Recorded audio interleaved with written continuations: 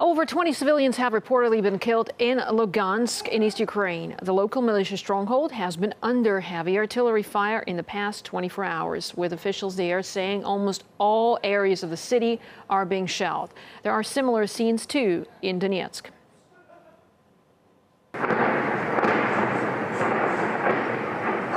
The besieged city came under fresh bombardment overnight, with locals saying the intensity of attacks has increased. The UN Human Rights Agency estimates that around 60 people a day are being killed or wounded. Maria Finoshina met some of the residents of Lugansk.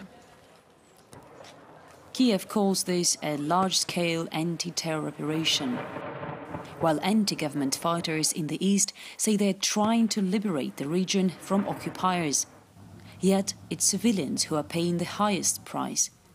They describe what's happening on the ground and in their backyards as senseless violence. The city of Lugansk, one of the biggest in Ukraine's east, lies in ruins and is almost empty, but the artillery fire never stops. While the shelling of the city continues, not only residential areas are being targeted. Just yesterday, a shell landed right here in the middle of this grave at one of the city's main cemeteries. Очень трудно нам дается. З горем не спимо, мало їмо. Все це стукання, бахання вже надоїло. Едешь, ага. Если где-то взорвалось, переждал, но обычно 4-5 мин, я уже знаю. Все, потом, значит, можно минут через 10 туда уже ехать. Dmitry and his family were caught in the sporadic fire when they tried to get water from a wild stream outside the city.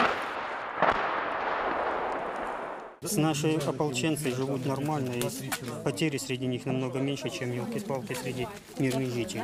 А вот эти вот тупые долбежки нафиг мирных кварталов можете пройти. Здесь у нас несколько домов раздолбаны. Там дома раздолбаны. Возле школы дом разбили, погиб человек. Для чего это делать? And safety is not the only thing missing in Lugansk. All those we spoke to here told us they are in need of practically everything. Humanitarian aid provided by city authorities is not easy to get. Сначала стояли в очереди, Просто нас записывали в тетрадочку и давали кусочек бумажки, чтобы пенсионер не забыл. Или на ладошке написали 300 там или 400, какая очередь. На следующий день с вот этой бумажкой доходит очередь, она упала в обморок и все. Ее забрали скорой помощью, и она ни помощи не получила, ничего. This handwritten notice hung on a tree in one of the most shelled districts of Lugansk invites anyone who wants to flee the city to come to a designated place on any given day. Yet those who haven't got out yet don't seem in any rush to pack their bags and escape.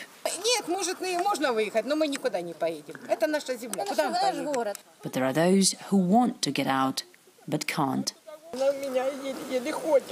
Она не видит, она не слышит. А как я там буду с ней? Я вообще, я теряюсь, я не знаю как. A couple of hours after we crossed the border back into Russia, we heard that violent clashes had erupted all along the road we drove alone. And those who we just spoke to in Lugansk now find themselves trapped in the encircled city. Revno Shnati in eastern Ukraine. Well, it's been over a week since Lugansk declared a state of humanitarian disaster. The convoy of Russian aid is now on its way to the border with Ukraine.